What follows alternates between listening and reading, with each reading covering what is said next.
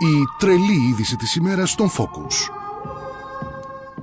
Γίνεται ένα μωρό πέντε μηνών να εκδιωχθεί από μια χώρα ενώ οι γονείς του μένουν σε αυτή. Στη Γερμανία, ναι. Οι γερμανικές αρχές ναι, έστειλαν σε ένα μωρό μόλις πέντε μηνών επιστολή με την οποία το καλούν να φύγει από τη χώρα ή να έρθει αντιμέτωπο με την απέλαση. Παρότι στους γονείς του επιτρέπεται η παραμονή. Ο Γιασίν Ναζάρη γεννήθηκε στη Γερμανία από Αφγανούς γονείς, οι οποίοι έφτασαν εκεί πριν από δύο χρόνια αναζητώντας άσυλο, γράφει η Telegraph.